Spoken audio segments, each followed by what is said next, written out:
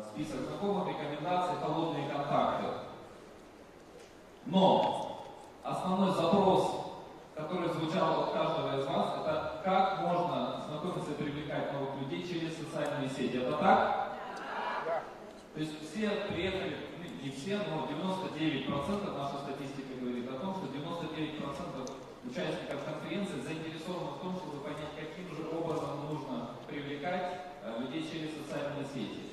И вчера на тренинге разъясняли то, каким образом это нужно делать, но мы не говорили подробно, не останавливались на том, каким образом должен быть оформлен, каким образом должны быть оформлены ваши социальные сети. И это мы сделаем сегодня, это мы сделаем сейчас.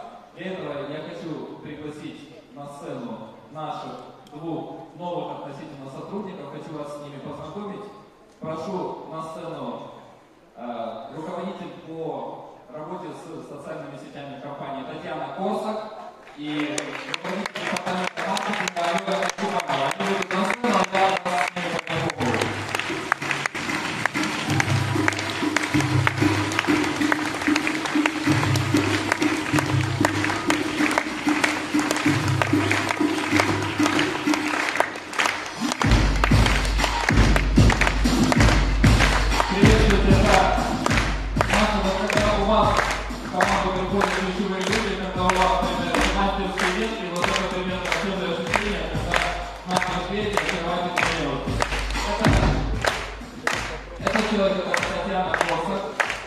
Наверняка вы заметили, что около года, около года назад э, наши социальные сети преобразились, и теперь вот э, чуть позже увидите, наверняка многие из вас знают, как выглядят сейчас э, странички компании в Инстаграме, в Facebook.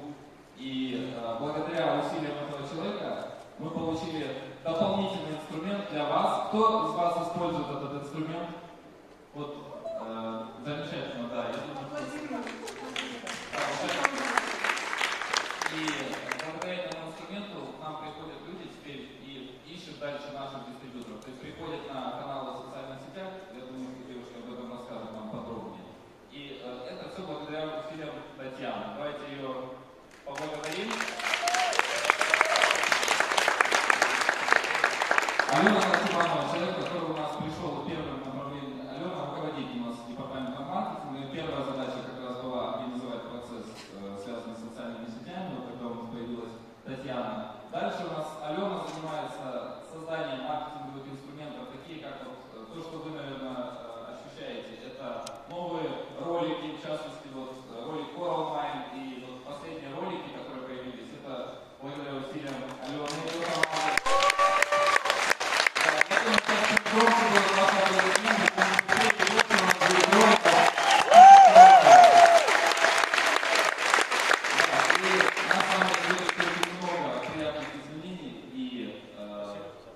все, что связано с маркетингом, это у нас вот новая молодая команда, которая очень динамично растет. И вот Два представителя на сцене. Сейчас я освобождаю сцену, передаю вам слово для того, чтобы вы поделились нашими э, наработками, нашим опытом по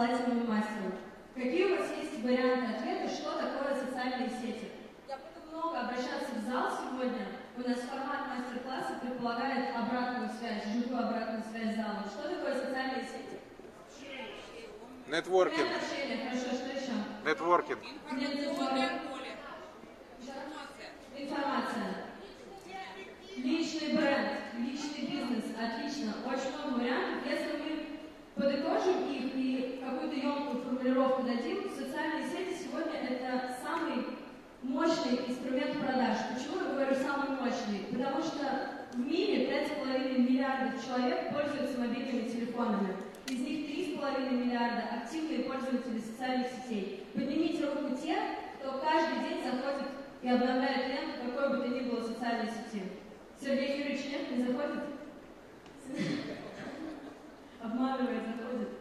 Итак, что это значит для нас? Это значит, что каждый день у нас есть новая возможность найти потенциальных покупателей, потребителей продукта, найти лояльную аудиторию или найти новых партнеров по бизнесу.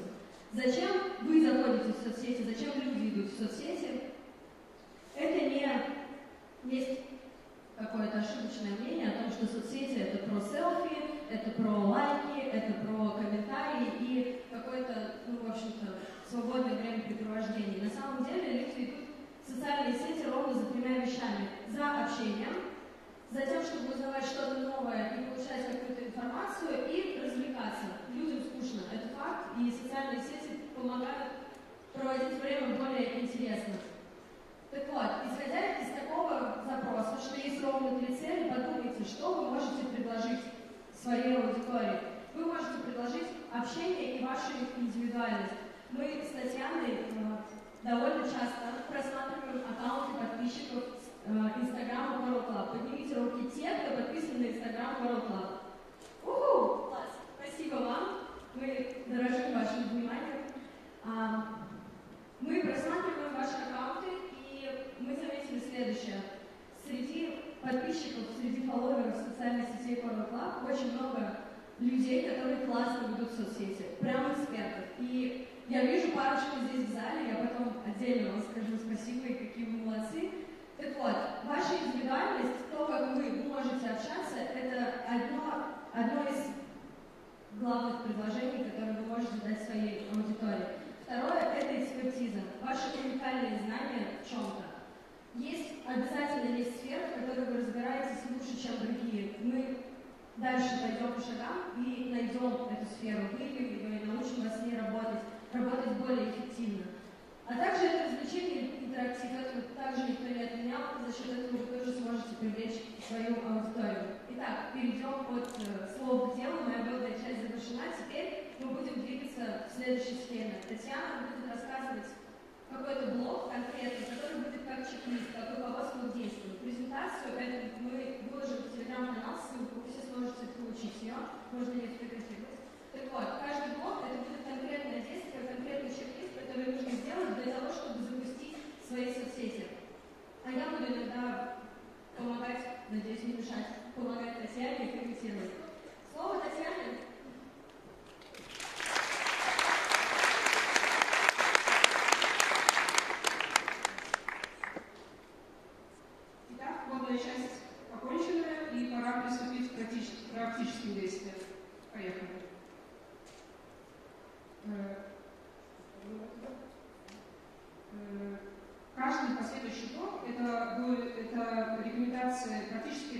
и ответственную, которые нужны мне для того, чтобы запустить успешный аккаунт в социальных сетях. А информация, как известно, лучше всего усваивается на примерах, поэтому каждый год мы дополнили информацией примером аккаунта Coral Club, чтобы вживую показать, как это работает.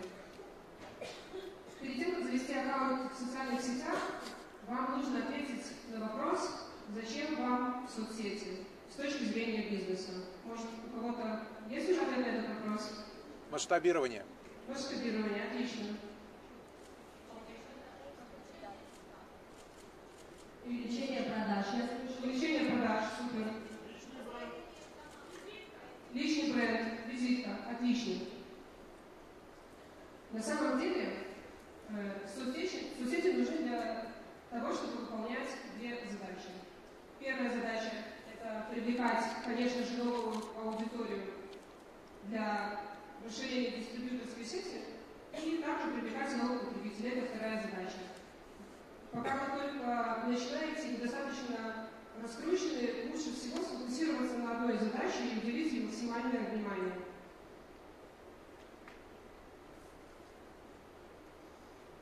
Зачем все эти Club? Когда э, мы делали реструктуризацию аккаунта и полностью соцсетей, мы задавались этими, теми, теми самыми же вопросами, которыми задаем сейчас вам и которые мы сейчас рассмотрим. То есть зачем же сети соцсети Coral Club? Первое – это повышать лояльность потребителей, рассказывая о продукте. Конечно же, повышать узнаваемость бренда и создавать сообщество вокруг продукта. И тут я обращаюсь и скажу следующее. Друзья, у аккаунта бренда и у вашего личного аккаунта чуть-чуть разные задачи. Поэтому, а, когда мы говорим о повышении лояльности потребителей к бренду, мы говорим прежде всего о том, что это будут лояльные потребители по отношению к вам. То есть, когда мы говорим, что потребители лояльны по отношению к бренду Coral Club, к продукту Coral Club, это значит, что к вашим аккаунтам они также будут лояльны. Мы работаем над брендом, вы работаете над личным брендом. А, ранее Татьяна сказала о том, что лучше всего, эффективнее всего сфокусироваться на одной задаче. Вы сначала научитесь классно, вкусно, продающе, очень интересно писать про продукт и прокачаете, например, продуктовую часть, и после этого будете прокачивать часть, которая связана с лидерством и с бизнесом, скажем так. Вы можете действовать в другой последовательности, если вы чувствуете экспертизу в своем бизнесе. А, сразу же скажу, когда мы начали менять аккаунт Coral Club, мы тоже сфокусировались на одной задаче. Сначала мы сделали аккаунт про продукт. Кстати, кто пользуется аккаунтом как источником вдохновения, использует фотографии, тексты. Спасибо, не зря, не зря, не зря. Спасибо. Так вот, а, у меня есть для вас хорошая новость. А, для того, чтобы для того, чтобы мы прокачивали не только продуктовую часть, команда Coral Club, SMM команда начинает работать над бизнес-аккаунтом Coral Club Business, где вы также сможете черпать для себя вдохновение, вы сможете искать полезные статьи, вы сможете брать готовый контент,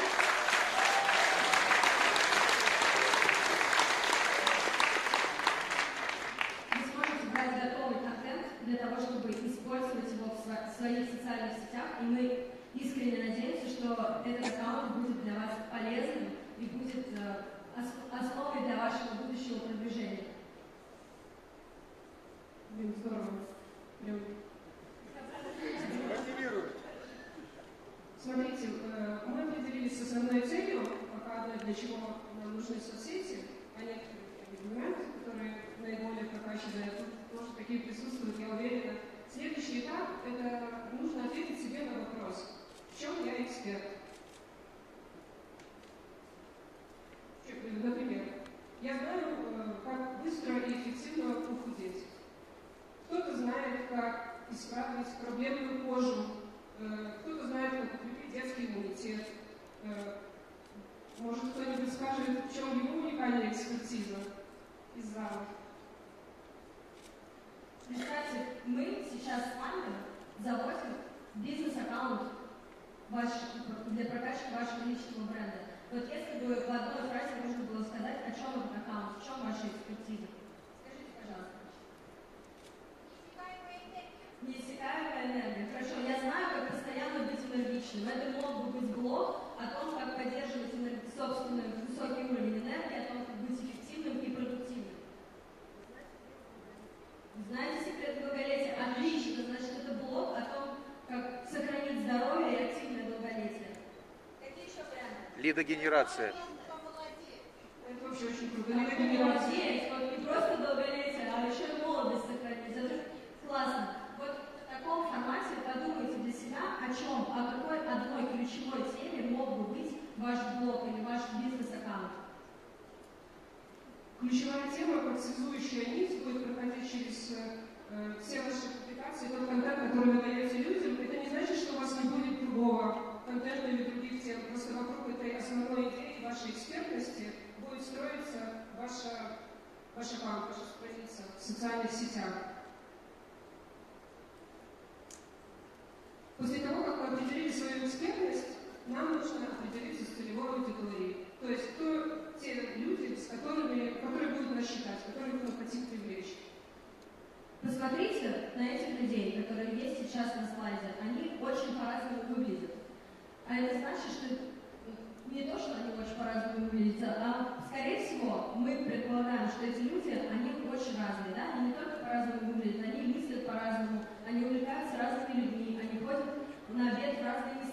занимаются разной-разной деятельностью. Так вот, для того, чтобы для того, чтобы понять, кто из этих ваш, нужно пройтись по одному несложному чек-листу. А, Первый блок так называемые социально-демографические характеристики. Подумайте, вот э, мы говорили о долголетии, например, о том, как сохранить долголетие.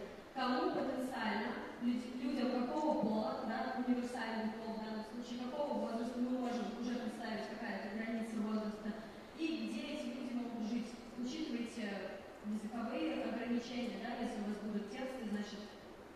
рассчитывайте на аудиторию одного языка с вами.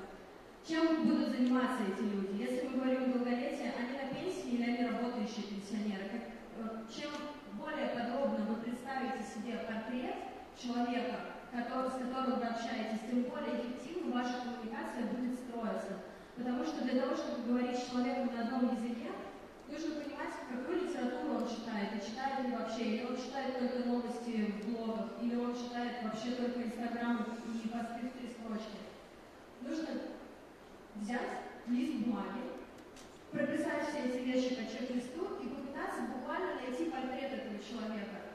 И каждый раз, когда вы будете писать какой-то пост или вы будете снимать сторис, представляйте его перед собой, говорите ему и будьте максимально интересны, тогда ваша коммуникация будет эффективной. Как работает принцип отсеивания целевой аудитории? Например, мы поняли, что потенциально наша тема может быть интересна огромному числу, а числу людей. Мы понимаем, что тема долголетия будет интересна людям там, от 30. Мы говорим, да, потому что нужно задумываться заранее о долголетии. Мы говорим от 30, это мужчины, это женщины. Дальше мы сужаем аудиторию. Мы понимаем, что, например, на- нам интересны люди, которые будут жить на территории Италии, на территории постсоветского пространства. Те люди, которые говорят с нами на одном языке. Таким образом, количество людей, аудитории, да, потенциальных сегментов, оно уменьшается. И к моменту, когда вы закончите проработку портретов, выяснится, что есть не так много. В данном случае мы оставили а, женщин старше 30 лет, которые живут по всему миру, они активные, они молодые. И среди вот этих людей есть тот адресник, к которому вы обращаетесь. Спасибо. С целевой аудиторией определились. Я хочу э, в дополнение Алены слов э, просто сказать, что, э, конечно, чем лучше вы узнаете да, свою целевую аудиторию, тем лучше будет результат. Представьте, что это ваш хороший знакомый или сосед, которого вы знаете досконально. Все его привычки. Ну, звучит, наверное, немного сложновато, но на самом деле это совсем не сложно, да. И когда будете писать или готовить какую-то публикацию, у вас уже будет прям всплывать образ, можно придумать им, кстати, вымышленные имена, это иногда бывает очень даже весело. Вот. И очень помогает в работе. Дальше с целевой аудиторией мы определились, что нужно сделать дальше. Э, Нужно определить концепцию. Концепция э, блога. Есть четыре основные кита, на которых держится блог. Незыблемые четыре кита. Первое – это площадки, на которых есть ваша аудитория потенциальная. Это темы и рубрики, то, что будет интересно вашей целевой аудитории, то, э, что вы будете писать, то, что вызывает у них обратную связь, то, что вы административно. Тональность коммуникации, третий блок, это то, как вы будете общаться со своей целевой аудиторией, потому что целевой аудиторией тоже э, общаются по-разному, и это очень важный блок, как ты общаешься со своим подписчиком. И третье – это визуальный стиль или оформление, э, то, как будет выглядеть ваш аккаунт э, с точки зрения визуала, будет ли он цельным и гармоничным. Если это все собрать воедино, то получится прям бомба. Первый блок площадки. Вот мы знаем нашу целевую аудиторию. Еще раз, да, можно я иногда буду влезать, я буду основные точки фиксировать. Итак, мы определили экспертность вашу, под эту экспертность мы вывели аудиторию целевую. Следом за аудиторией нам нужно понять, а где нам эту аудиторию искать. Где же нам искать нашу целевую аудиторию? То есть где нам завести аккаунт? Это будет ВКонтакте, Инстаграм, Фейсбук, э, YouTube. То есть площадок много, соцсетей прям столько, сколько не перечислишь. Для того, чтобы определить площадку, есть небольшой чек-лист, буквально пару пунктов, который поможет вам определиться. Первое, нужно определить э, именно ваши сильные стороны. То есть, что у вас получается лучше, или то, к чему у вас э, склонность, либо вы можете легко научиться. Например, у кого-то получается лучше писать тексты, кто-то увлекается фотографией, кто-то любит снимать видео. Именно вокруг этого ключевого навыка э, можно э, ну, именно э, благодаря этому ключевому навыку он влияет на выбор вашей площадки. Кстати, это может быть не только личный ваш навык. Вы, например, знаете, что ваши дети, ваши братья, сестры, кто-то очень классно снимает или монтирует видео, кто-то очень здорово фотографирует. Э -э Эти люди — это ваш ресурс. Они смогут на вам помочь, смогут подсказать, может быть, что-то сделать вместе с вами несколько раз, для того, чтобы дальше вы могли самостоятельно этот навык прокачивать и использовать его в дело. Но для начала, может быть, у вас есть склонность. Второе, второй пункт. Э, нужно изучить статистику соцсетей, где, ваши, где находится ваша аудитория. Э, сделать это несложно, хоть звучит и страшновато. То есть нужно найти э, те группы, возможно, это будут группы конкурентов или паблики, где, э, находится, э, где находится аудитория с вашими интересами. Искать можно по группам, э, забивая поиск, например, э, похудение, и выпадает сразу список групп большой, где можно посмотреть количество площадок, и посмотреть, сколько аудитории, например, присутствует она непосредственно в Инстаграм больше, а на Фейсбук, например, меньше. Может, следующий слайд, если открыть следующий слайд, мы покажем на примере, как это работает. А, допустим, вы эксперт по тому, как терять лишний вес, по тому, как худеть быстро, эффективно и без вреда для здоровья. Что нужно сделать для того, чтобы понять, где больше всего худеющей аудитории? Вы знаете, что существует там, три основных соцсети, или вы бы хотели работать в трех основных соцсетях. Например, ВКонтакте, например, Facebook и, например, Инстаграм. Все, что нужно сделать, это ключевые слова, слова для поиска. В данном случае похудеть, худая, диета, все слова синонимы. Вы забиваете их в поиск по группам. В Фейсбуке, в Инстаграме. В Инстаграме это будет просто поиск, в Фейсбуке, ВКонтакте это поиск по группам. Пишете слово похудение и смотрите. Например, ВКонтакте паблике на диете 864 тысячи участников. И смотрите количество групп. Если количество групп больше 100, это значит, что тема живая и интересная. Дальше нужно смотреть уже количество людей в каждом паблике, да, вы видите в одном там миллион человек, в другом 5 миллионов, миллионов человек. А, например, в Фейсбуке на эту же тему, да, похудеть, группу всего лишь 60. Что ВКонтакте аудитория больше худеющих. Это значит, что там вы с большей вероятностью найдете своего слушателя, зрителя и выстроите лояльную аудиторию. Кстати, небольшой лайфхак. Э, сначала дополнение. Искать можно также по хэштегам, по ключевым словам. А, а теперь небольшой лайфхак э, по поводу целевой аудитории. Когда вы перейдете в группу, в которой очень много подписчиков, подписчиков э, по вашей теме, вы можете кликнуть на подписчика, зайти в его профиль и посмотреть, чем он интересуется. Это поможет также составить портрет целевой вашей аудитории. То есть посмотрите одного, второго, третьего можно выборочно щелкнуть и посмотреть, чем он увлекается, какую музыку слушает, какие мероприятия посещает. Это поможет дополнить вам образ, портрет вашего целевого подписчика. Теперь давайте расскажем на примере Chrome Какая же основная площадка у Pornhub? Какие есть предположения? Инстаграм. Инстаграм. Фейсбук тоже есть. И, собственно, решение выбрать Инстаграм, оно было не случайным и из потолка. А, мы проанализировали такой показатель, как engagement rate. Это страшное английское слово, расшифровывается всего лишь как активность, которую люди проявляют. Что это значит? Если у поста, у какой-то фотографии 100 лайков. Как понять, хорошо это или плохо, много это или мало? Что нужно сделать, как вы считаете? Посмотреть, сколько людей посмотрело. Посмотреть, сколько людей посмотрело, да, хорошо. сколько людей подписано. Например, если на вашу страницу подписано 25 человек, и у вас 100 лайков, это классный результат. Это значит, что люди еще и поделились, да, дальше рассказали о вашей записи.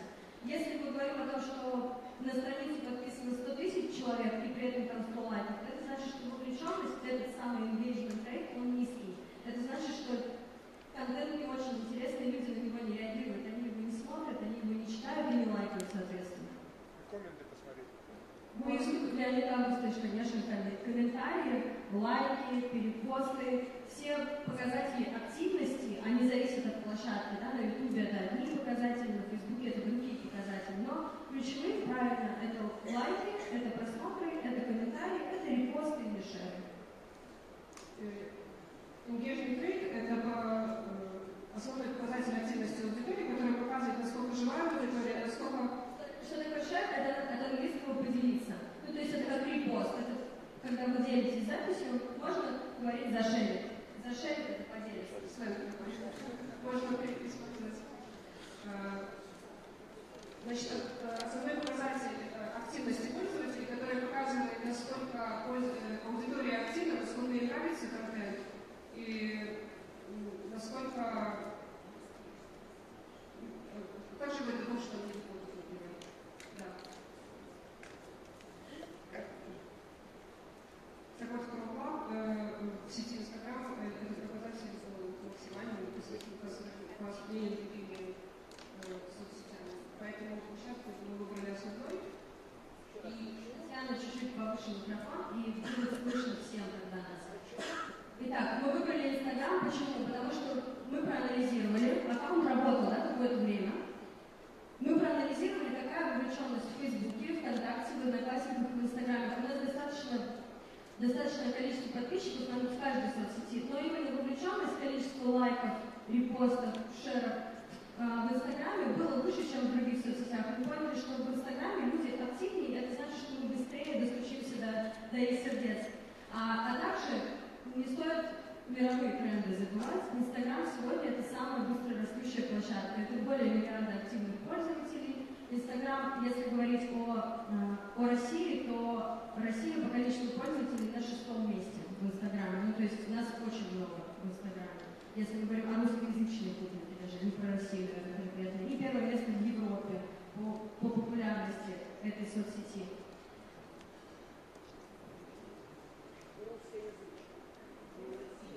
Русскоязычных пользователей, да. площадку выбрали. Э, Второй блок – это контент. То есть где мы уже определились, нашли место. Следующий вопрос – что? Что писать? Э, Для того, чтобы написать пост, нужно э, проделать небольшую работу для начала, чтобы все это объединилось в одну общую, связалось в одну общую структуру. Нужно выбрать темы и. Также есть небольшой чек-лист, можно будет использовать его. Первое. Нужно определить ключевые вопросы целевой аудитории. То есть э, сфокусироваться на тех проблемах, которые сталкивается целевая аудитория. Например, э, я эксперт в области косметологии, эксперт в области сохранения молодости. С какими основными вопросами сталкивается моя целевая аудитория? Подскажите мне. Красота. Да. Проблемная кожа. Да, проблемная кожа, отлично. Старение. Ранние морщины, да, потому что каждая девушка лишний вес, отлично. Вот еще больше таких э, э, вопросов вы соберете, тем лучше, тем лучше вы сможете использовать эту информацию для дальнейшего. Отсутствие энергии очень актуально. Вам за этот ответ. Вялая кожа. Могу еще сказать, это побывшего лица. Ну, то есть можно перечислять, на сыграть можно очень-очень много. Ключевые вопросы целевой аудитории в Инстаграме. С- э, Следующий шаг – это определить типы рубрик. То есть мы когда даже будем развивать фабрику, чтобы у нас не было хаоса, э, мы возьмем э, тему конструкции, сыграем по рубрикам. Существует э, три основных типа рубрик. Это продающие,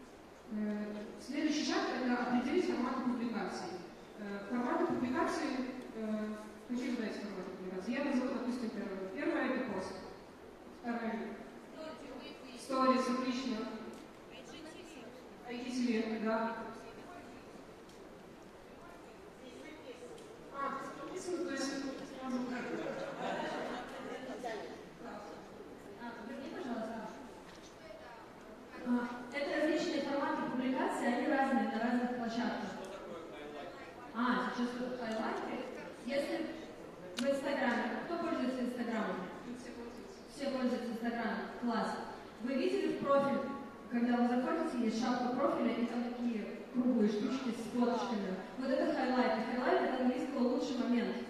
Ну, то есть вы можете свои сторис сохранять в этих хайлайтах на какие-то темы. Как правило, это оформляется следующим образом. Вы были на ЗДЗ, вот вы сейчас на ЗДЗ, вы что делаете? Вы укладываете сторис, это через 24 часа исчезает. Для того, чтобы они не исчезли, а сохранились в подборку, вы нажимаете, если нужно будет, Татьяна, проведет мастер-класс о том, как добавить в этот хайлайт, мастер-класс. Здорово, закончим свое выступление и историю. мастер-класс, как добавить в хайлайт или какие-то прикладные еще вещи покажем. Так вот, а, вы делаете подборку, которая сохраняется навсегда, она не удаляется через 24 часа, она будет храниться в вашем инстаграме столько, сколько вы посчитаете нужным. Вот, И э, задача, задача э, максимум, найти максимум точек соприкосновения, потому что когда человек открывает ленту телефона, он может э, пропустить пост, но при этом в следующий раз он увидит сторис. Он может... Э, а. То есть, если он не увидит это сейчас, он увидит это потом благодаря разным форматам публикации. Э, примеры постов Horror Club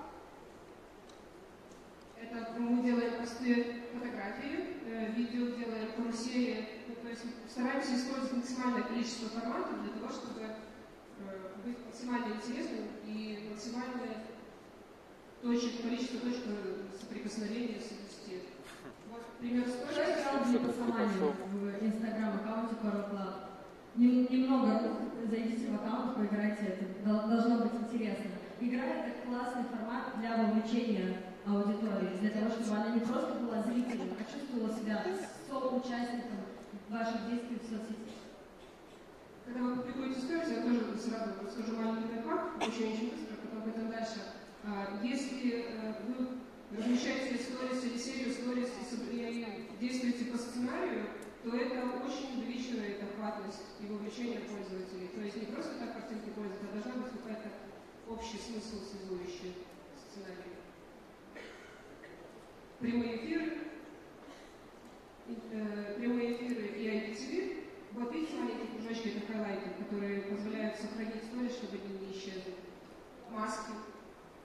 Мы подготовили для вас сюрприз, если вы зайдете в наш аккаунт и нажмете вот на эту маленькую улыбающуюся мордочку, вы сможете примерить сережки в стиле ЗДЗ. Прямо сейчас открывайте Инстаграм, Coral Club, заходите в аккаунт Coral Club и найдете там маски специально эксклюзивные для вас с символикой ЗДЗ. Размещайте в шагах.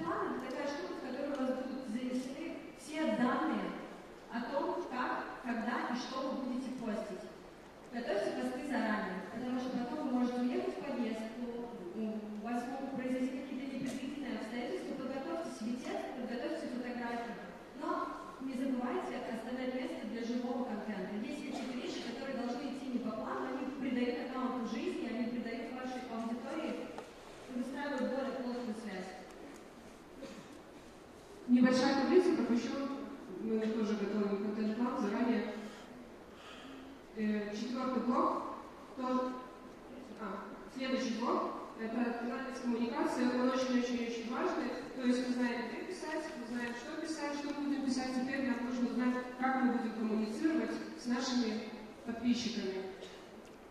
Итак, а, как выбрать тональность коммуникации? Сейчас очень много курсов о том, как стать блогером, и там учат примерно одному и тому же. Вот пишите посты вот так, говорите вот такими словами. Друзья, я вас призываю к тому, чтобы вы оставались искренними и естественными. Это то, что до сих пор не хватает людям в жизни, они ищут это в социальных сетях в том числе. Есть ваша индивидуальность, она прекрасна. Ваша личность, она интересна сама по себе. Наша задача правильно подать вашу личность, и тональность коммуникации выбранная в этом поможет. Вам не нужно быть похожим на других блогеров. То есть вам не нужно писать о хорошей коже, как это уже пишут. Вам не нужно снимать такие же видео. Будьте собой. Тональность коммуникации, она опять же отвечает за эмоциональную связь с вами. А, Когда вы достигаете определенной узнаваемости в соцсети, человек в ленте, у него много, много кого подписан, у него в ленте много постов, но он сразу же узнает вас по тому, как вы общаетесь, по вашему языку. Правила хорошего тона или правила хорошей тональности коммуникации говорите на понятном живом языке без сложных терминов и канцеляритов, особенно когда речь идет о здоровье. Это челлендж.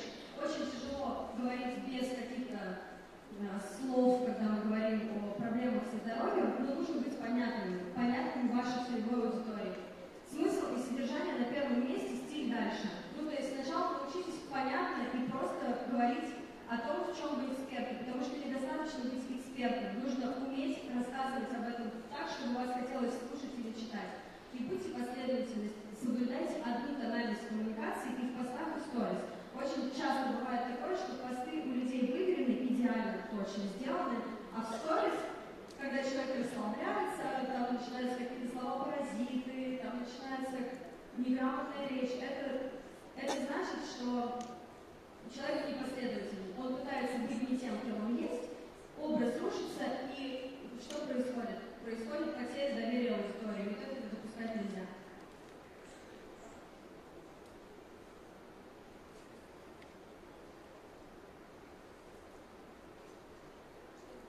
Про, хэштеги в двух словах давайте расскажем, для чего нужны хэштеги. Э, Суть э, э, хэштега э, проста. Смотрите, хэштег это ключевое слово, которое отражает основной смысл того, что написано, и решеточка, э, как он ставится, это решеточка и ключевое слово. Может быть, на русском, на английском языке самое главное между решеткой и ключевым словом не оставлять. Э, Хэштег отражает суть поста, он помогает структурировать э, все посты по одной теме, то есть составить рубрики, а также помогает продвижению, то есть э, помогает найти вас другим пользователям, просто задая нишу по хэштегу.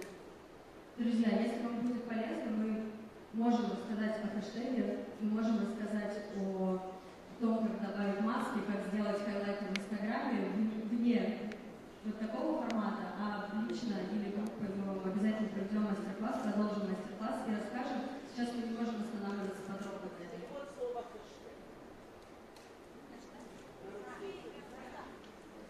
Тег?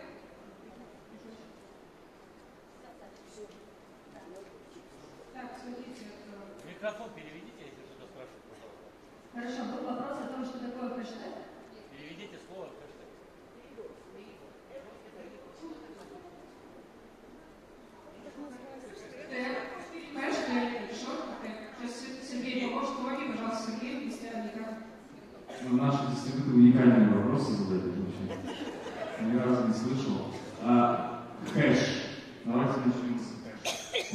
такой вот через шорточки, пусть это будет она. А тег, тег это метка. Метка. Дословный перевод метка. Понимаете, хэштеги это система разметки.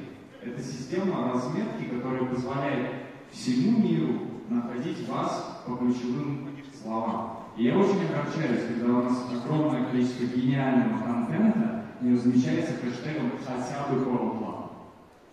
Хотя бы Club. Каждый раз, когда вы выкладываете прекрасную публикацию без хэштега Club, в мире умирает маленький прекрасный щенок. Имейте в виду.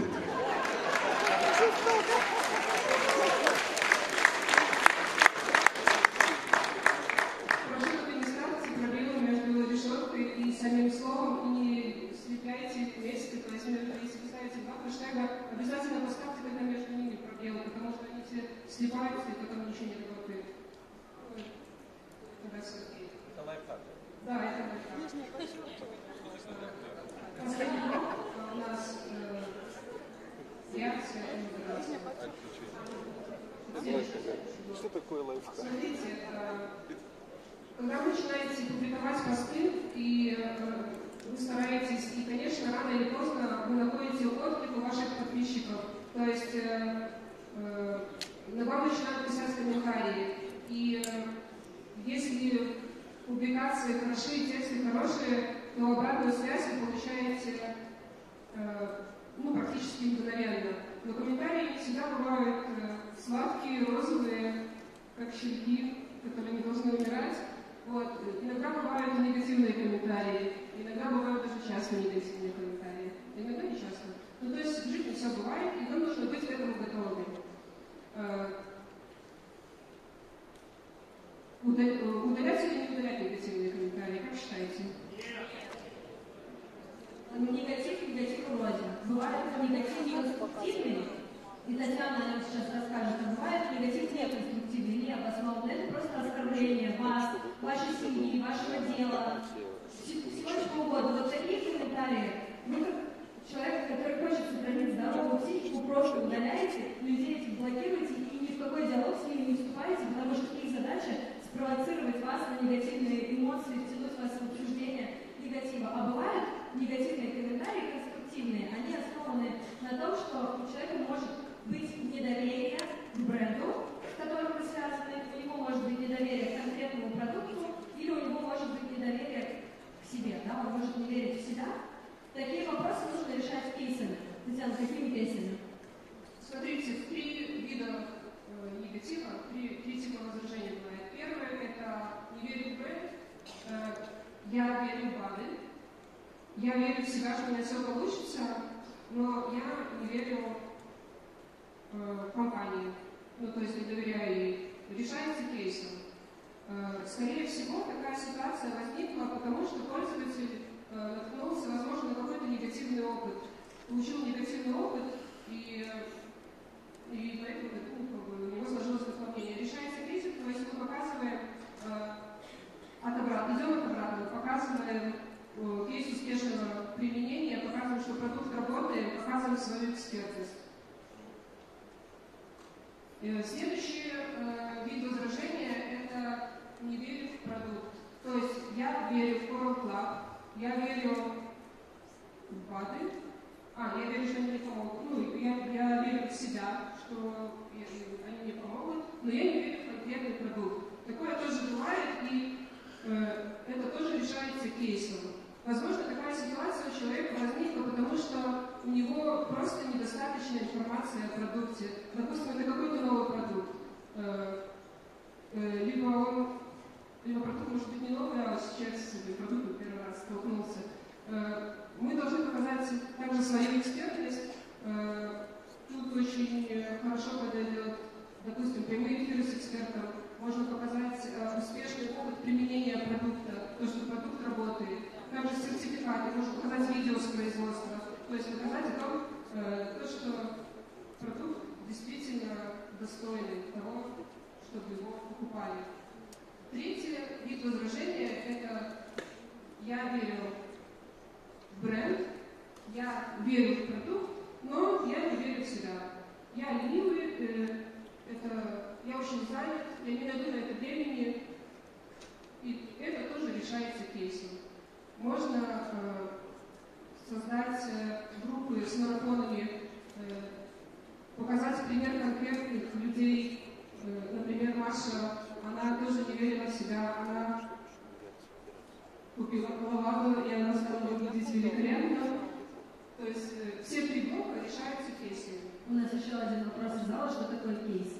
Кейс – это какой-то упакованный опыт, который мы можем рассказать, где мы можем замерить до, мы можем рассказать о процессе, и мы можем сказать, какой был результат. Например, прохождение коловады будет кейсом, если мы замерили начало, мы рассказали, каков был процесс, и у нас есть какой-то результат, и мы можем этим кейсом, да, э- этим опытом поделиться. Дальше. Опыт упаковывания чего дальше. Так, мы пропускаем уже тональность коммуникации, мы переходим к последней части. А, Слушали спикеров до этого, поняли, что в плане визуала, в плане того, как готовить фотографии, в плане того, как оформлять посты, вы знакомы с этой информацией, вы все в этом плане прокачанные, хотела я сказать. А,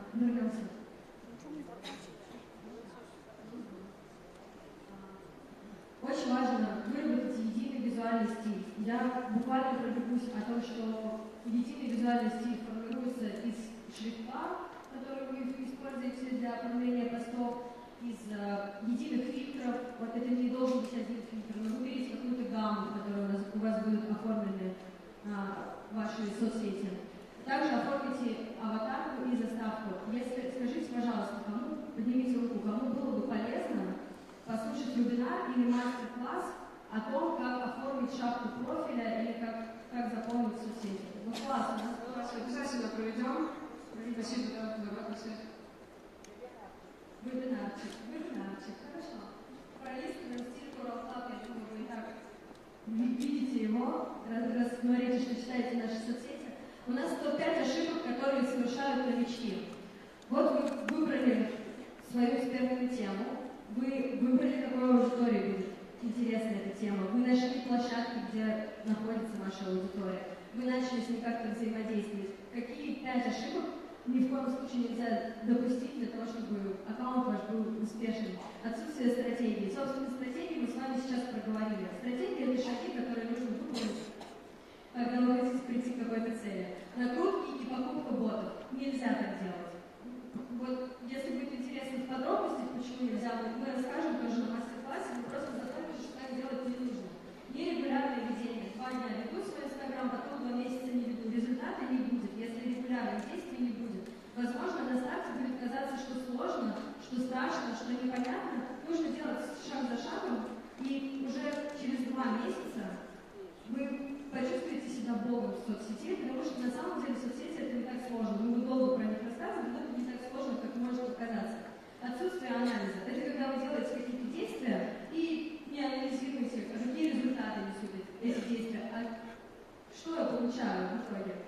Анализировать и корректировать свою стратегию – это важно. И отсутствие обратной связи – это когда вы забываете отвечать в директ, отвечать в комментарии, когда вы нерегулярно общаетесь со своей аудиторией и даете ей обратную связь регулярно, это тоже очень распространенная ошибка новичков. Ну, наверное, все.